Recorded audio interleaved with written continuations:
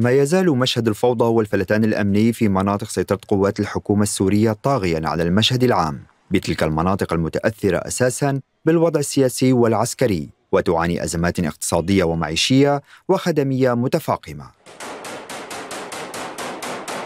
المرصد السوري لحقوق الإنسان أفاد أن مسلحين مجهولين استهدفوا بقنبلة يدوية مبنى فرع ما يسمى أمن الدولة بمدينة السويداء جنوبي سوريا دون ورود معلومات عن خسائر بشرية.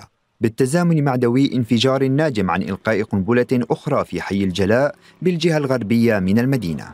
كما أكد المرصد السوري سماع دوي انفجار ثالث في مدينة السويداء ناجم عن انفجار قذيفة صاروخية في الجو. وسط سماع إطلاق رصاص كثيف دون معرفة التفاصيل أو أسباب ذلك. وفي ظل حالة الفلتان الأمني أشار المرصد الحقوقي إلى أن مجموعة وبعض العاملين في تجارة الخضار من مدينة السويداء احتجزوا ضابطين وعنصرا بقوات الحكومة السورية. ردا على اعتقال القوات الحكومية تاجر خضروات من أهالي المنطقة في سوق الهال بالعاصمة دمشق مطالبين بالإفراج الفوري عنهم.